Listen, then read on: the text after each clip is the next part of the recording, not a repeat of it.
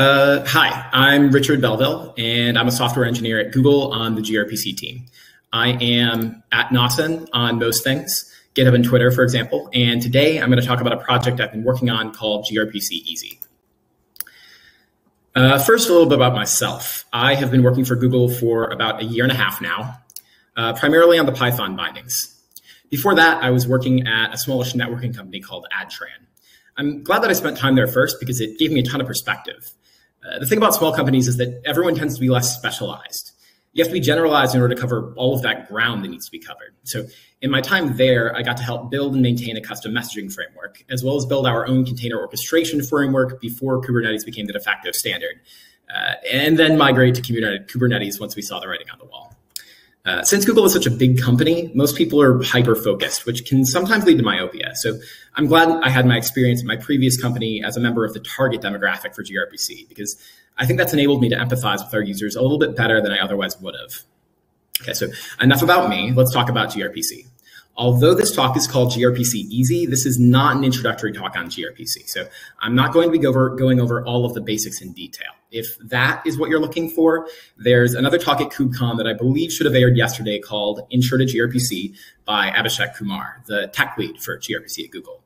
If you're not watching this live, you should probably pause me and go watch that talk or one of the other various intros talks now. Uh, for the benefit of those of you who are watching live, let's do a very brief recap of the structure of an application using gRPC. gRPC is an RPC framework, RPC standing for Remote Procedure Call. When you boil away all the fat, this means that we're a library and a set of development tools that enable you to define and call a function so that it runs on a different machine from the caller. Uh, though it could run on the same machine if you set things up that way. Uh, technically speaking, gRPC is a protocol, not a library.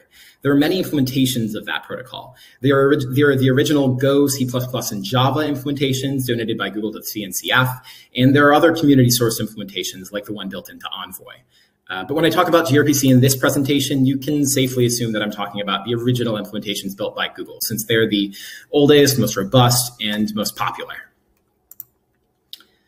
Uh, so a default gRPC is a point-to-point client-server model where the client and server can be in different languages, very much like HTTP JSON REST. The difference is in the payload and the different concurrency models you can use. So if you're going to call a function, both the caller and the callee need to know the API and the ABI, the application binary interface by default, but not as a requirement, gRPC uses protocol buffers for that. So you can see an example of what a protocol buffer service definition looks like here. It looks very similar to how you would define a function in, say, C. So that's what gRPC is. What about its users and how they feel about it?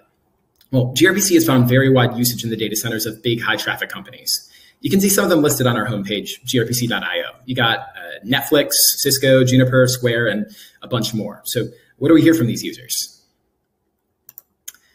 Uh, well, we hear it's well supported. You have a preferred language? Odds are we've got bindings and tooling for it. You want to run Windows? We got you. You need to run on ARM? No problem. Uh, we hear that it's performant. At the transport level, we introduce very little overhead. A lot of complex logic has been put in place to ensure maximal performance for multi-threaded applications. And protocol buffers, being a binary serialization format, cut down substantially on the amount of time you would otherwise be serializing and deserializing JSON. If you caught the SIMD JSON project on Hacker News a while back, that was a project that applied some lessons from a protobuf white paper to the task of serializing and deserializing JSON. But because JSON isn't natively a binary format, it's still not as fast. We hear that it's robust. Once got a bug report for a server that crashed after a year of serving. Uh, we fixed the bug, but learned that we were down to once a year sorts of bugs in the stack. And they say that it's safe. The interface definition language provided by protobufs helps save you from shooting yourself in the foot by sending an accidentally malformed request to the server. It's like using a statically typed language after being forced to use an untyped language forever. But is it easy to use? I don't think I've ever gotten that sort of feedback before. Uh, very often, the task of migrating these organizations to gRPC lands on the shoulders of a platform team, like an IPC team. Uh, part of the reason for that is that migrating from an existing messaging system can be tricky. Uh, but part of it is likely that using gRPC itself isn't always that easy. Uh, and we sometimes get positive confirmation on that from smaller organizations and individuals struggling to roll out gRPC. Uh, the gRPC team regularly scours Stack Overflow and answers as many questions as we can. This here is just a sampling of Python related issues that we've seen. Now, it's unavoidable, whatever your project is, that some users are going to have questions about it. But if you want to be inclusive and popular, your goal should be to minimize the level of surprise and of cognitive burden for everyone as much as possible. Uh, when I first started on the gRPC team, I was somewhat uncomfortable with the API and workflow. I worked with other tools that were easier to use in the past. And my gold standard was the Python request library. Uh, I'm going to wager that the majority of people watching this talk have used requests, even if Python isn't their daily driver. Why? Well, one, Python is easy. Writing an integration test, do it in Python. Writing a supporting script, do it in Python. Working to startup and need to move fast, hey, it worked for Reddit, do it in Python. Two, the request library is easy. You can sneeze and accidentally send some JSON to a different continent. Personally, I think this is one of the major reasons why HTTP JSON REST has become so very, very popular. Ubiquitous, user-friendly libraries. So what you're looking at now is the gist that introduced the request library to the world. On the left is what making HTTP GET request look like before the request library came onto the scene. And on the right is what making an HTTP GET looked like after the request library was introduced. Import the library, then do the call. So simple. I was going to kick out of the first comment to this gist. Um, this ultimately was the goal of the gRPC Python library. Lower the barrier to entry so that anyone, no matter what size organization they're a part of, can say, screw it, this one-off server is going to be a gRPC server. We can write it in the client in an hour. So one day, I decided to whine about my issues with the library to a piece of paper. This was eventually transform, transformed into a design doc, but at the time, I just called it a complaint doc. There were a lot of little things, but there were really two main friction points that I saw. The first had to do with protocol buffers. I like to lurk around GitHub for people pulling in our library so I can see exactly how they use it. My first observation was that the vast majority of people are not advanced users of the API. The second thing I noticed is that people have absolutely no idea what to do with protocol buffer definition files.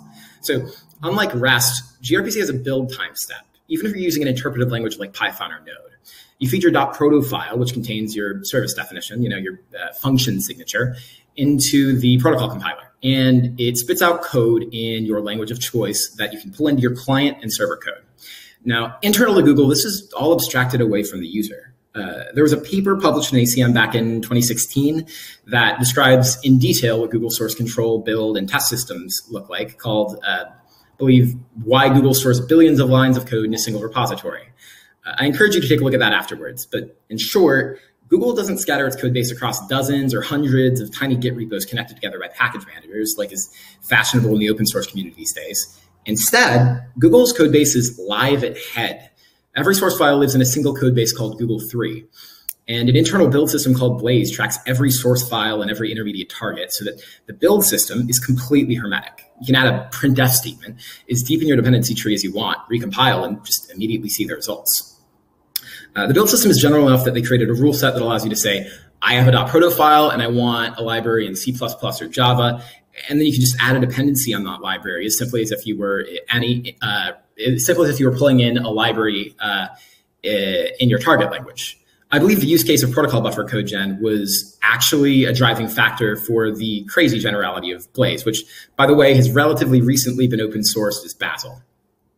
So developers in Google don't have to worry about what they do with their generated code. As far as they're concerned, the fact that the code is generated and isn't just a third-party library they're pulling in is an implementation detail. But that's not the case for open source users. Out in the open, language agnostic build systems are exceedingly rare. So while there are integrations with Maven and setup tools and various other language specific build systems, you still have to figure out how to integrate with those specialized rules. And then you have to be the one to worry about how you pull down the protocol buffer files from a central source and what to do with the generated code. So what do most people do? The simplest thing, they copy the dot .proto file. So they have one copy of their client repo and then one copy of their server repo. Okay, now these two have to stay in sync. Every time you or anyone else makes an update to the service definition or to a message definition, they have to remember to update both. Fun. Uh, that's called connascence if you're looking for the exact software coupling term. Okay, so you've copied your .proto file across multiple repos. Now you struggle with the protocol compiler command line interface. Uh, there are at least three flags that you're going to have to deal with. One that tells it where to put the generated code for serializing and deserializing messages. One that tells it where to put generated code for clients and servers, and one that tells it what directory your protocol buffers live in.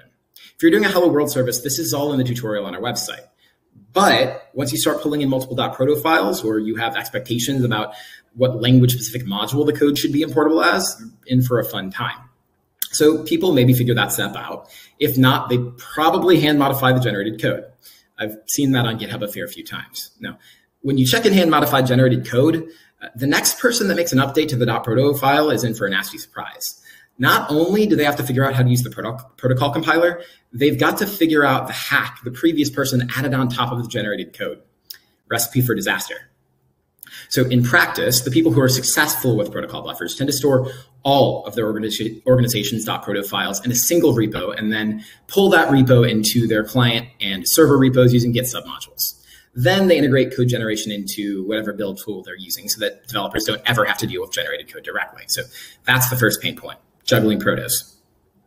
The second big pain point is channel management. Now, channels are sort of a gRPC specific concept. Generally speaking, gRPC is built on top of HTTP2, which is in turn built on top of TCP.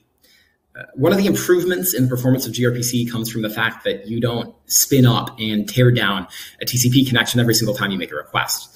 A channel represents one or more TCP connections across which our client balances its requests based on load balancing configuration.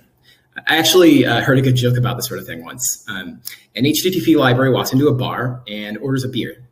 It takes the beer and walks out of the bar. One second later, it walks back into the bar and orders another beer, takes it and walks out of the bar, and so on and so forth. Often, HTTP libraries unnecessarily spin up and tear down TCP connections.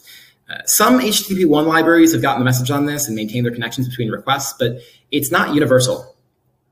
So gRPC's current approach is to get the application author to tell us when they're done ordering beers, at which point they close their channel, the TCP connection is shut down, and the memory used to manage the channel is returned to the system.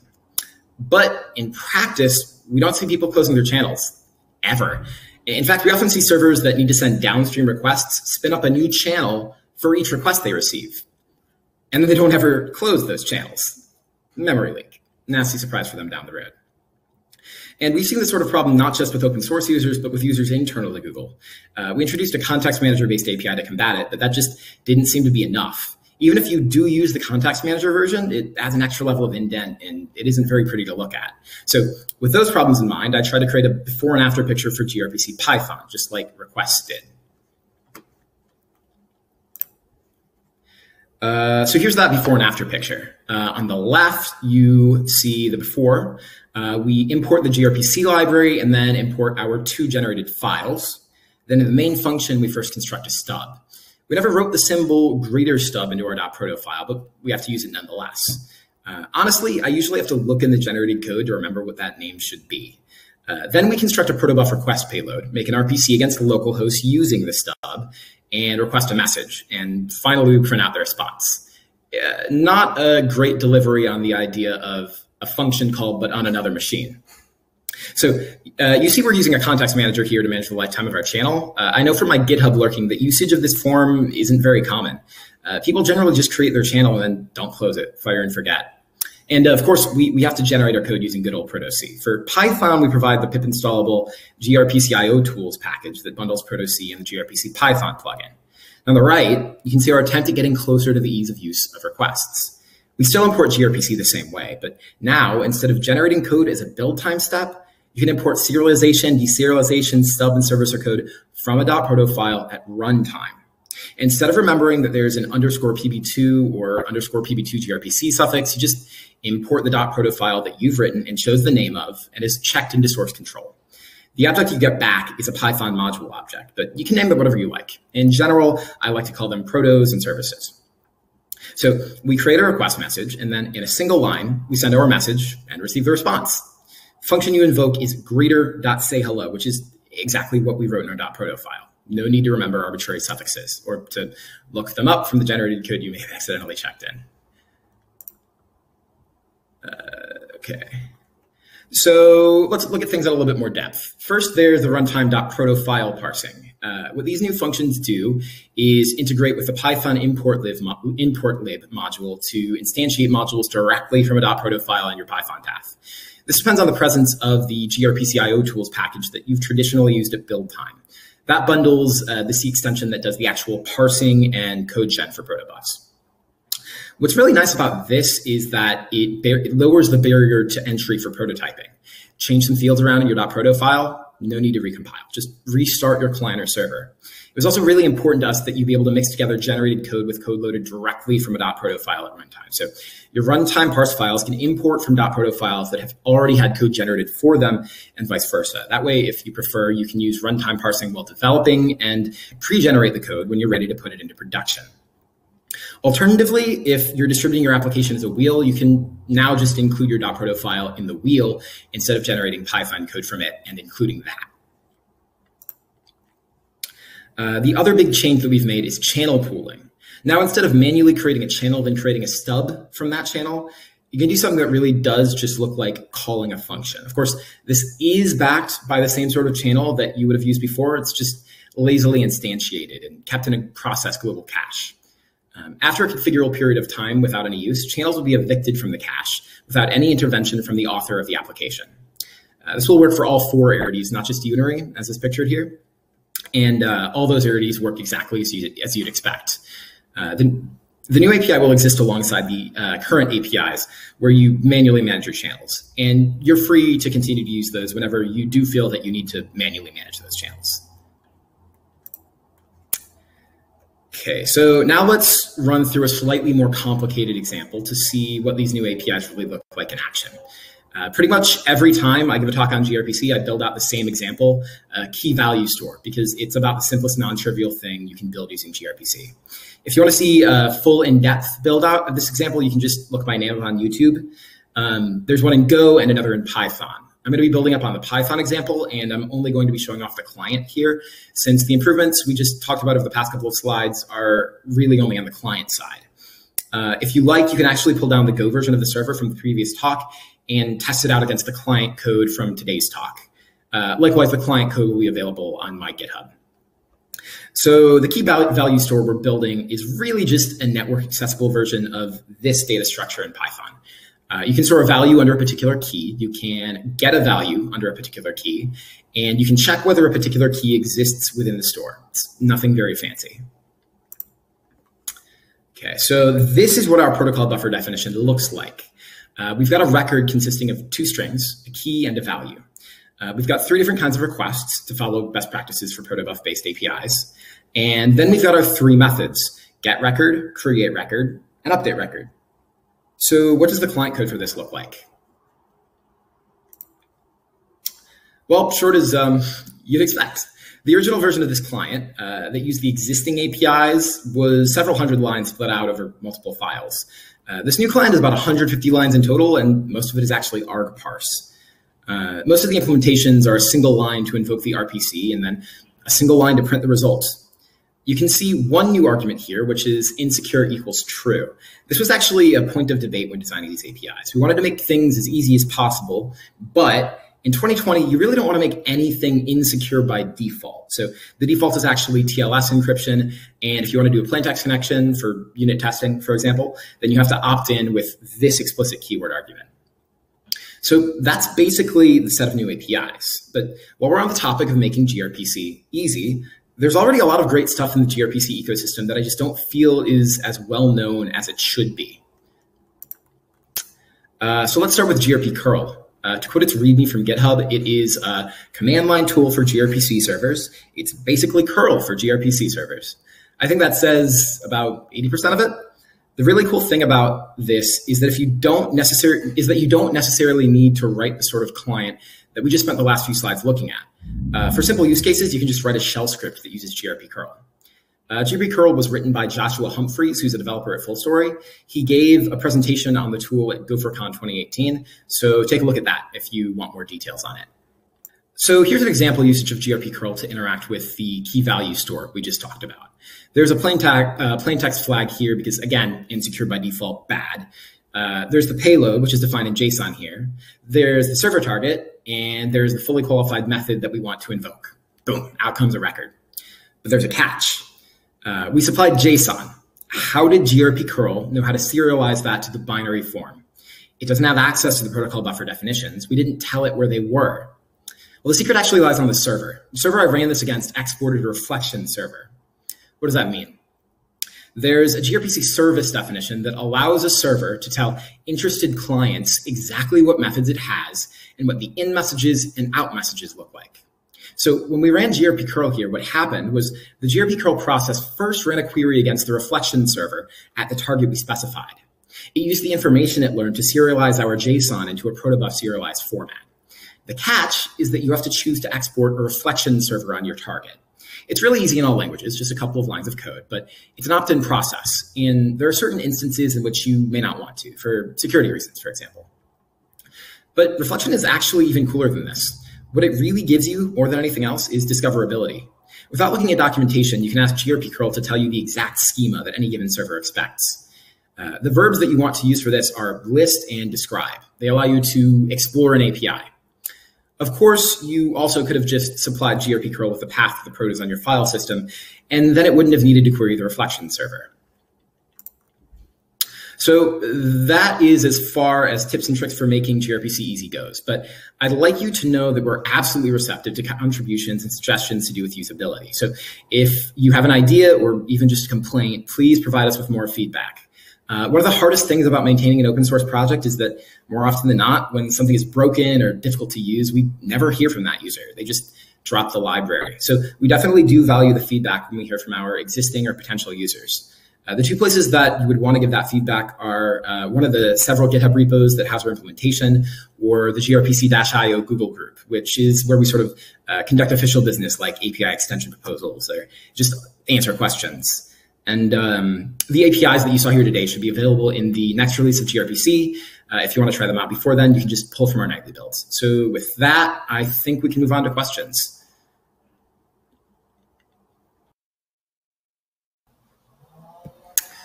Hi there, everybody. Uh, glad to see you all live now. Uh, I think we're going to go ahead and get started with questions. Uh, so please forgive uh, me if I mispronounce any of, of, your names. I'm sorry about that. Uh, first one I see is from Deepak. Any provision to generate UML model from Proto? Um, it's possible that such a tool exists within the community ecosystem. Uh, I haven't seen one. If you did want to build one, I don't think it would actually be very difficult. Um, the protocol compiler has a system of plugins that uh, can just be binaries on the file system. There's an environment variable that allows you to tell the protocol compiler where to look for those. Uh, and it's a very simple format where it takes uh, a serialized protocol buffer message on standard in and it outputs code on standard out.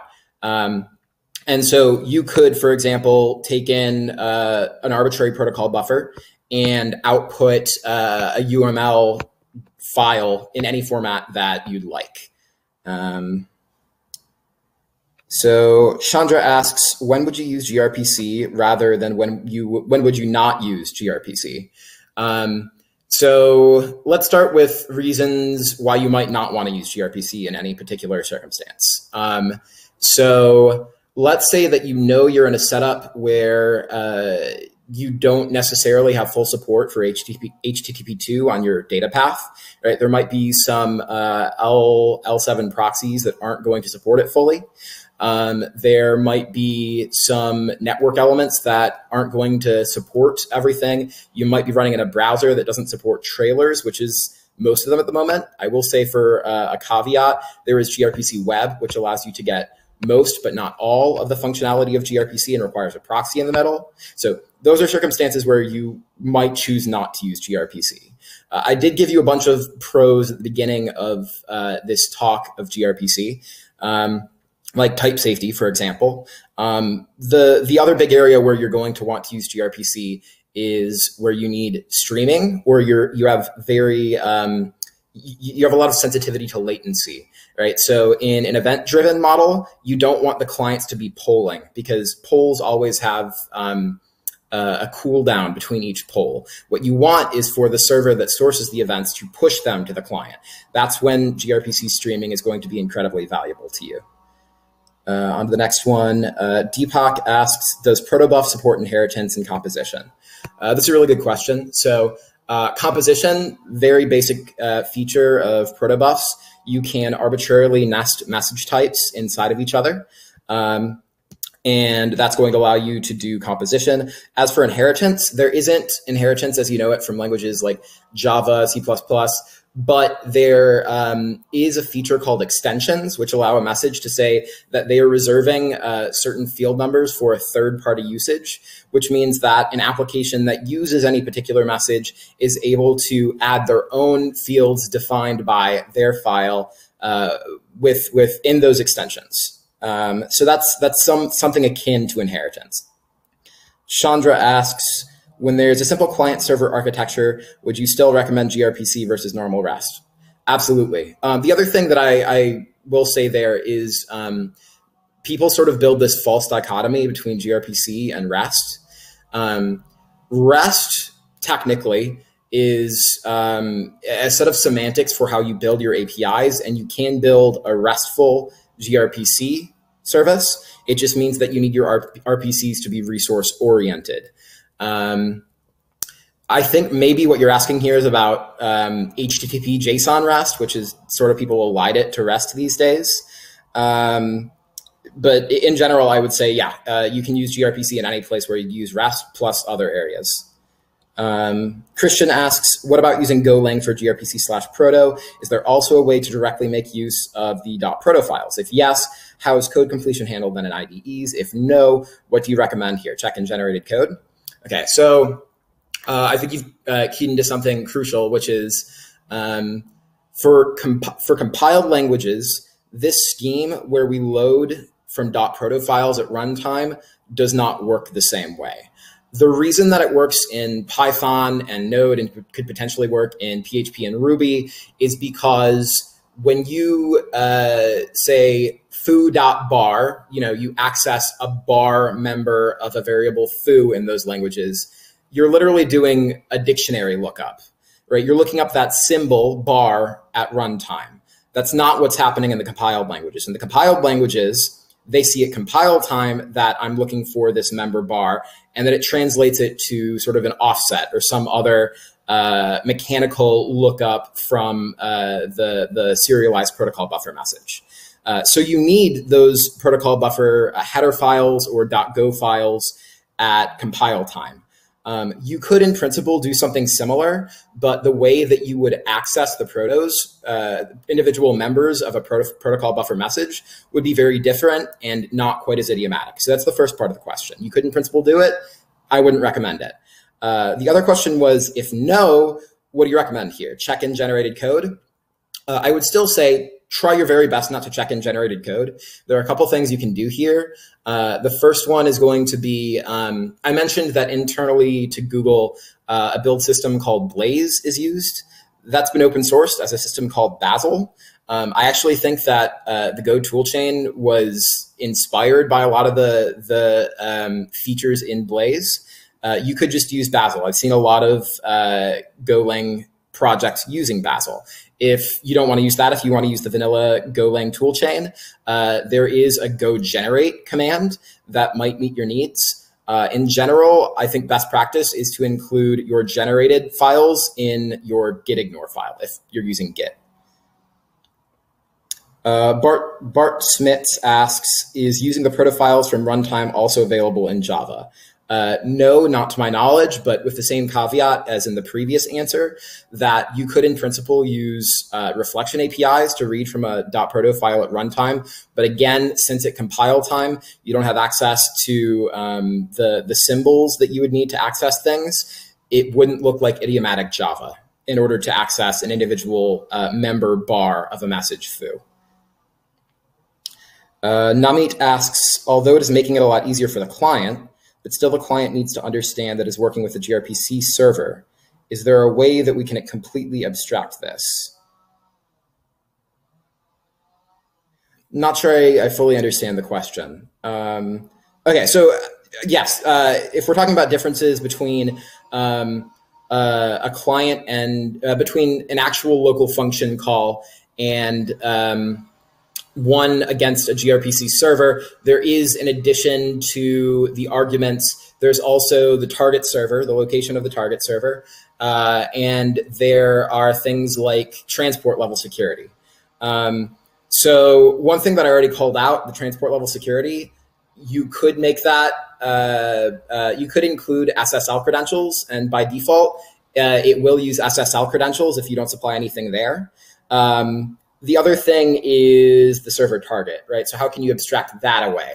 Um, there, it, it's not exactly um, completely abstracted away, but um, there is a lot of work going into the set of XDS protocols, which mean that you can abstract away the address of a particular server that you're going to, and you can use a control plane like Istio or uh, Traffic Director on GCP that allow you to abstract out to an abstract service name that doesn't correspond to a particular server's IP or host name um, and those can change dynamically. Uh, that would help to abstract that away a little bit. I don't know if that fully answers your question, though. Uh, Alex asks, any plans to add more officially supported languages in the future? Um, so I'm, I'm, I'm wondering if this is about gRPC in general, or if this is about um, the features that I discussed here today. I'm assuming that this is about general language support. Um, no, I do not know of uh, plans for additional languages but um, they're popping up in the community all the time. Uh, for example, Kotlin support recently came around. I know of multiple uh, Rust implementations that have been coming around. If you keep your eyes peeled, you will see lots of other languages coming around. Um, and if you have any language that you care about in particular, it's not too difficult to uh, wrap the gRPC core, which is um, which is it used to be a plain uh, C89 set of APIs that you can wrap a higher level API around. Now it's um, C++, but there it is a relatively stable set of APIs, so you could, in principle, build a new language around that relatively easily. Um, and those are all of the questions I see right now. Um, so I am going to head over to the Slack, and I'll be available there for at least the next 15 minutes. Uh, thank you, everybody, for attending today. Uh, and I think that'll be it for the talk. Thank you.